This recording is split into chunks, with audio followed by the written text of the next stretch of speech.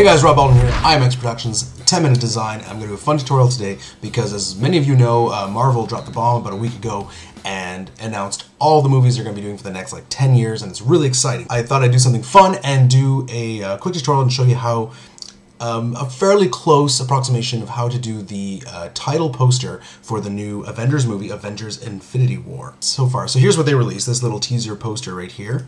Okay, so we're going to try to approximate this font, this kind of 3D um, design as quickly as possible and as closely as possible. Uh, obviously, you could spend hours and hours on this and get it really right. Um, this is one technique that'll get you get you to something fairly close. This is cool if you're going to make make your own um, poster design for your own film, or if you want to make a kind of a fan poster, then this will work too. Okay, so we're going to start with a canvas, and of course we want our Avengers font on there. Uh, there'll be a link in the description for where you can download this font. It's a little different than the font they use, but it's, it's this is probably from the first Avengers movie, but it's close enough, so we're going to go with it.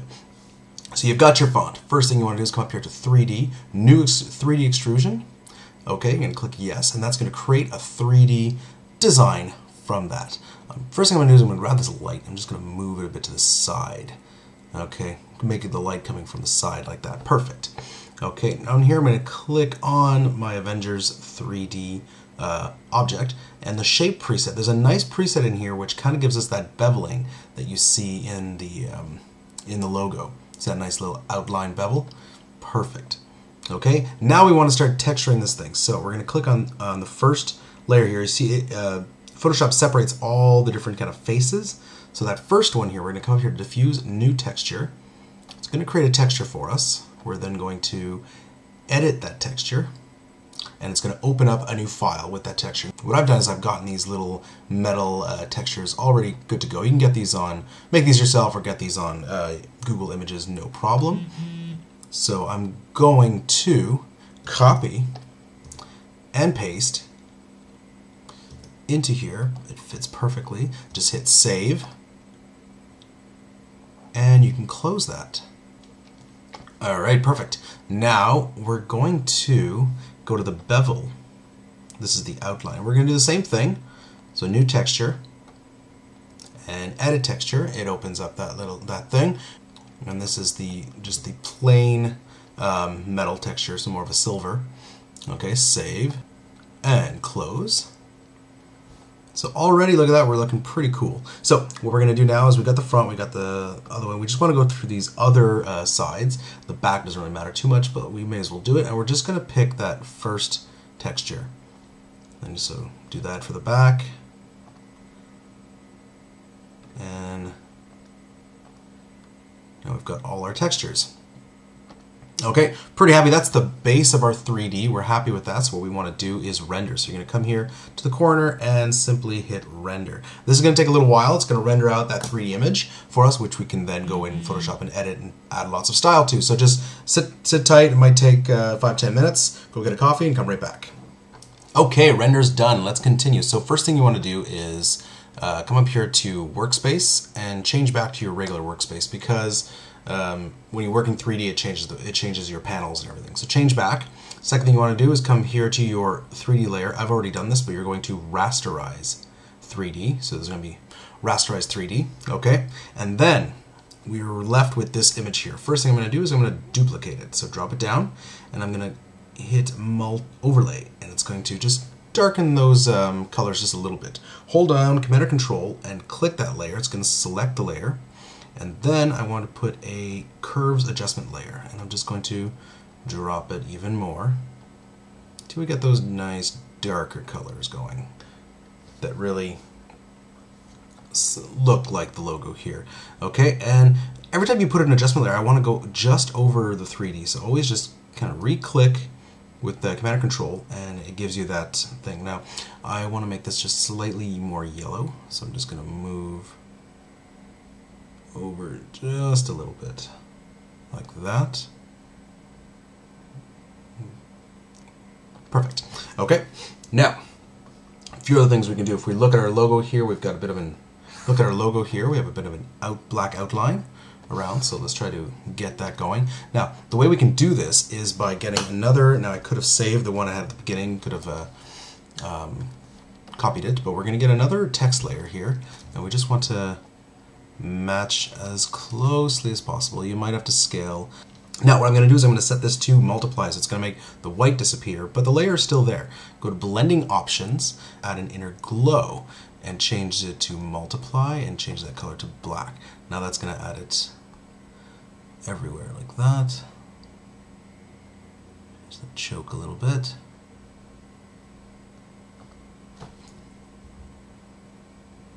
Nice. Now we're getting cool. If you want a more accurate uh, result, you can uh, you can do each letter individually, but for the uh, purposes of this tutorial, we're looking good. Actually, I'm going to duplicate those layers once. Once again, I'm going to put it above everything. And from this one, I will change from overlay to color dodge. And it's going to lighten everything. But I don't want it on all over the place. I'm going to put a mask. To fill that black. To grab a brush. Make sure there's no hardness. Fairly low brush. Fairly low opacity.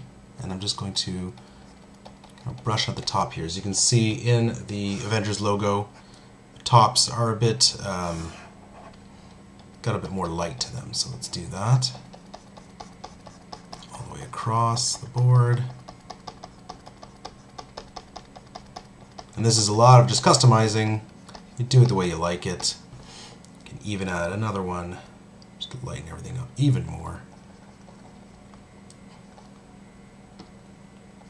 And it is looking pretty cool. Alright. I could do the opposite so I could add another layer, bring that all the way to the top, go to multiply, so it's going to darken everything. Same idea, we're going to put a mask, fill it black, and then maybe paint the bottom so it darkens everything at the bottom here.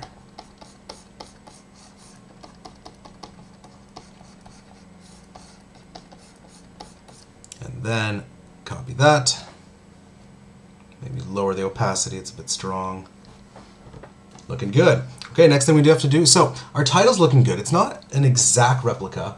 Um, I mean, I could work for hours to try to match it perfectly, but it's looking pretty good for the purposes of the tutorial what we want to do now is add those lens flares in. So what you need to do, um, I don't like the lens flares that come in Photoshop. Uh, they're really terrible. So the best thing to do, if you don't have another means of generating lens flares, to go to Google Images and just search up some lens flare images. I've got a few here. Here's a nice basic one. I've got a nice lens flare here. I'm just going to select it, copy, bring it into my design. It's a little small. I'm going to up it just a little bit. Like that. I'm going to switch that layer to add. And I believe in the poster there's a nice flare right over here. So right on the tip of that little Avengers arrow, like that. Put a mask on there, I just want to delete this, the end here. Obviously that's the wrong color, so we're going to come up here to Image, Adjustments, and Hue and Saturation, and simply change the hue until we get that yellow-orange we're looking for, just like that.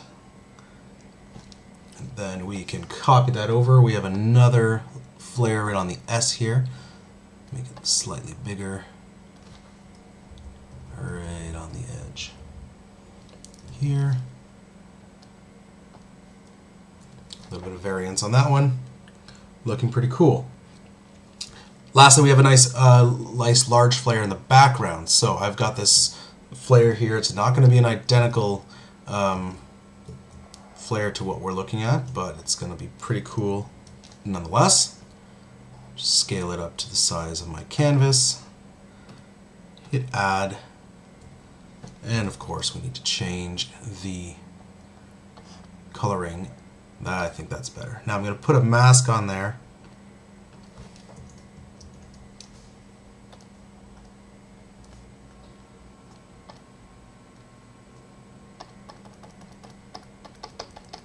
And then just, it was a bit strong, so I'm just going to slowly bring it in.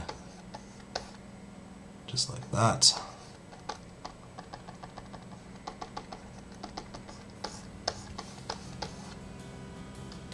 and there you go. Okay, next thing you could do, you could add the Infinity Wars. It would be basically the same process, and uh, you put that underneath. Okay, so I hope you've enjoyed this tutorial. Like I said, it's not a perfect replica, but it's close enough to the techniques used in there, um, and then use those techniques and then modify it as you see fit to to uh, arrive at, a, at an end product that you're comfortable with and you're happy with. Please click here and you can see another tutorial where I show you how to modify the Iron Patriot and turn him into the Canadian Patriot and an Apple Patriot, which is pretty cool. Um, and click here to see one of our short films, Zombie Jitsu, that we put together a few years ago. A lot of fun. Follow me on social media. Please let me know what you think of this tutorial. Comment below and uh, subscribe to, for more videos, guys. Thanks for watching. This is Rob Baldwin. Cheers.